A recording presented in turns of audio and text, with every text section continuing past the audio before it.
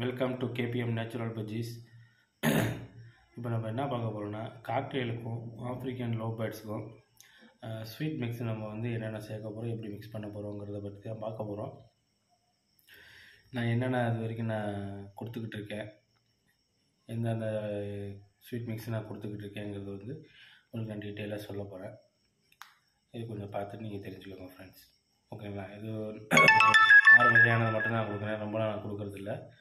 அதுவே கொடுத்தாவே போதுமானது தான் ஓகேங்களா? ஓகே ஃப்ரெண்ட்ஸ் இப்போ நம்ம வீடியோக்குள்ளே போகலாம் வாங்க. வணக்கம் ஃப்ரெண்ட்ஸ் பார்த்தீங்கன்னா இப்போ நான் என்னென்ன வாங்கியிருக்கேன்னு பாருங்கள் திணை அரிசி ஹாஃப் கேஜி வாங்கியிருக்கேன்.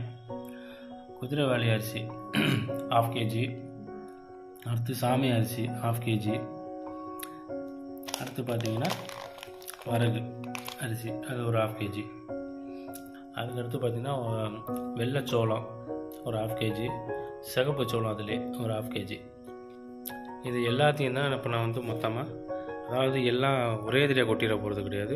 கால் கால் கிலோவாக எல்லாம் மிக்ஸ் பண்ண போகிறேன் மிக்ஸ் பண்ணி இதை தான் நான் வந்து என்னுடைய காக்டெயிலுக்கு ஆஃப்ரிக்கானுக்கும் கொடுக்கலான்னு இருக்கேன்.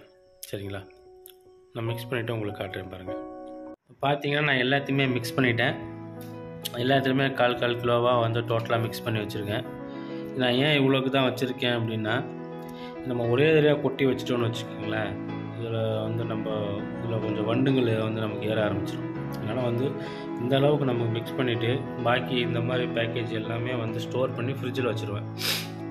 திருப்பி இதெல்லாம் காலி ஆனதுக்கப்புறம் மறுபடியும் இதெல்லாம் மிக்ஸ் பண்ணிடுவேன் இதெல்லாம் மிக்ஸ் பண்ணி இன்னொரு இது போடலாம் போட்டோம்னா நமக்கு கரெக்டாக இருக்கும்.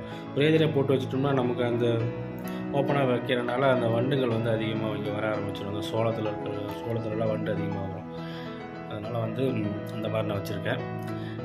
இந்த மாதிரி நீங்கள் வந்து மிக்ஸ் பண்ணி வச்சுக்கிட்டிங்கன்னா உங்களுக்கு ஈஸியாக இருக்கும். உங்களுடைய காக்டெயில் நான் ஏன் இந்த தினையை வந்து உரிச்ச தினையை போடுறேன் அப்படின்னா நம்ம நார்மல் நம்ம தொ தொழுவில் இருக்க தினையை போடுறோம். அது இல்லாமல் இதையும் போட்டுன்னு வச்சுக்கிங்களேன். அது கொஞ்சம் ஈஸியாக இருக்கும் சாப்பிட்றதுக்கு. தினையோட ரேஷியோ அதில் அதிகமாக இருக்கணும் எப்போவுமே.